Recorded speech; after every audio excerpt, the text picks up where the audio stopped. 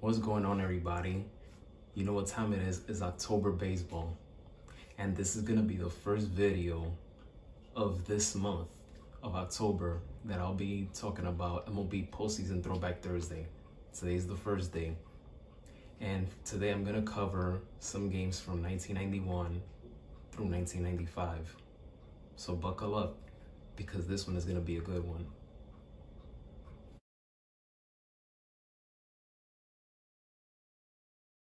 I want to start things off with the 1991 American League Championship Series between the Minnesota Twins and the Toronto Blue Jays, and I specifically picked Game 3 for this one.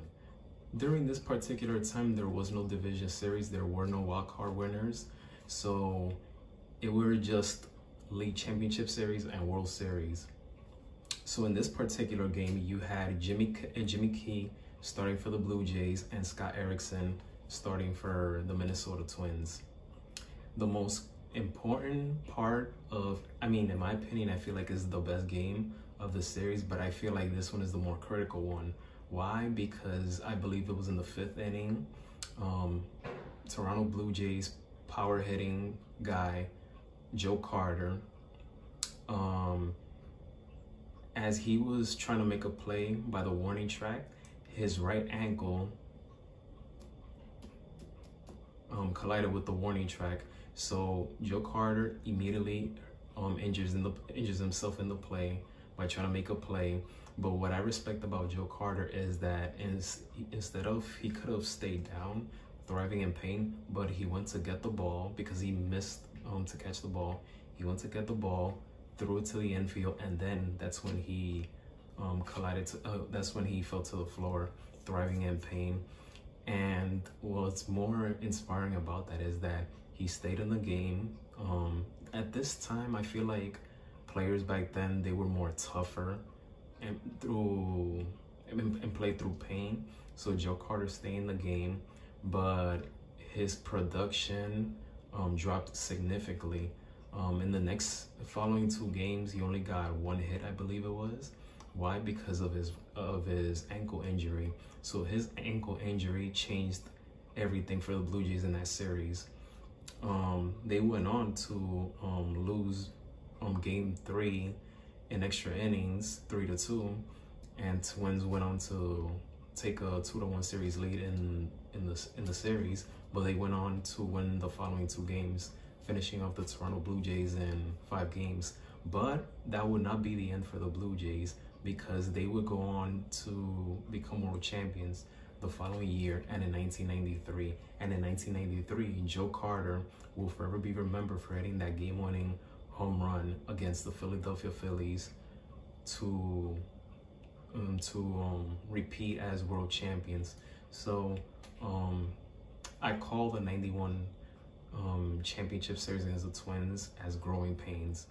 I also can't forget that this Twins Blue Jay series is the first postseason series where both teams um, played indoors because both teams played in dome stadiums. So that's something that I also wanted to share with you guys in case you guys didn't know.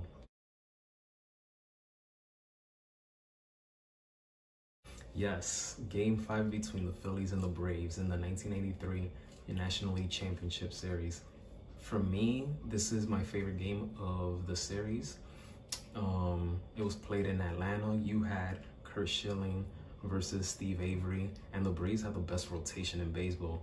You had Greg Maddux, Tom Glavine, um, John Smoltz, and Steve Avery, and the Phillies were up against. But on this particular game, it was Curt Schilling who got the best out of Steve Avery. Curt Schilling, who was 25 years old at the time, he completely shut down the Braves offense through eight and a half innings. But things would um, take a turn in the ninth inning um, when um, Phillies closer Mitch Williams, aka Wild Thing, came into the ninth inning on a 3-0 lead, trying to close out the game. But the Braves rallied and they scored three runs in the bottom of the ninth inning. However, anyone would think that momentum shifted in that moment, but in the top of the 10th inning, Lenny Dykstra hit a home run, which put the nail in the coffin to give the Phillies a 4-3 victory and take a 3-2 series lead in the series. And the Phillies went on to close out the Braves in game six. The series between the Mariners and the Yankees is the best series of the division series of that year. This was the first year that you had a wild card, both in the American League and National League. The Yankees were the American League wild card winners that year.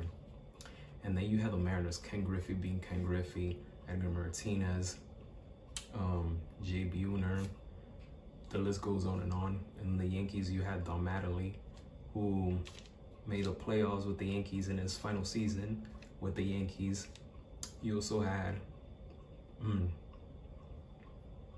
excuse me, you also had Paul O'Neill and Bernie Williams. But I specifically picked game two because Jim Leyritz, who's a guy that he's not really known for what he does in the regular season, is his postseason performance. He has come through time and time again. And in the 95 series against the Mariners was the start of everything. He hit a two-run homer against the Mariners in the bottom of the 12th inning to give the Yankees a 2-0 lead in the series. But as the series shifted back to Seattle, Seattle won three straight. And of course it ended with um, a crazy finish with Edgar Martinez and the double to give the Mariners um, the victory in the series, closing out the Yankees. But it was a phenomenal series if you look back at it. And as for Jim Leyritz, that would be the beginning of his playoff heroics. He came through again the following year in 96 in the 1996 World Series in Game Four um, against Mark Wohlers, and his three-run homer to tie the game in that World Series changed the whole momentum, and it was the start of a dynasty for the Yankees. He also um, hit some big home runs for the 1998 San Diego Padres in the National League Division Series, and so on. So Jim Leyritz, um, when it came at the right time, he produced, which was October baseball.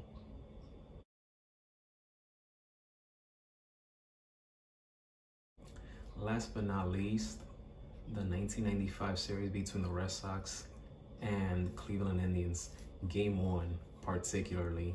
And um, the Cleveland Indians, they won 100 games that year. I feel like that was the best team that I've ever seen, that a Cleveland Indians team I ever had. Um, you can make the case for the 2016 team, although I will say the 2016, the 2016 team had a better rotation than 1995. But in terms of all around package, I'll take 1995 over 2016 Indians. And um, and um, Tony Pena, who was a veteran at the time, on a 3-0 pitch with two outs left in the bottom of the 13th inning, he hit a home run to give the Indians the victory. But before all of that happened, um, Albert Belle, who was the Indians' power hitter and and probably the best hitter of their lineup. Um, he tied the game with a home run in the 11th inning um, to keep the Indians there in the game. Um, and the Indians went on to sweep the Boston Red Sox in the 95 Division Series. However, that would be the first of many meetings they will face in the postseason. They faced each other again in 1998. The Indians um, beat the Red Sox in four games.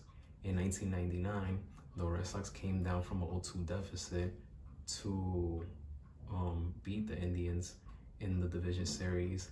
And especially will be remembered for Pedro Martinez, outstanding performance in game five. Um, they also faced each other in 2007, which the Indians had a 3-1 lead over the Red Sox, but they blew it. The Red Sox went on to win it all. And then in 2016, um, the Indians swept the Red Sox in the division series. Um, and another thing I would like to mention because I feel like it it's completely forgotten, and it's about the '95 series between the Red Sox and, and Red Sox and Indians, and that is that Luis Alicea was one of the few players from the Red Sox lineup to perform well. He hit 600 with a double and a home run. And that's something that I had to bring it up because I feel like it's often forgotten. But Luis Alicea, I want to give him props for having a terrific postseason um, performance the Red Sox in the 95 series. That does it for this first day of MLB Postseason Throwback Thursday. Stay tuned for next Thursday because I'll be covering from 1996 through 2000.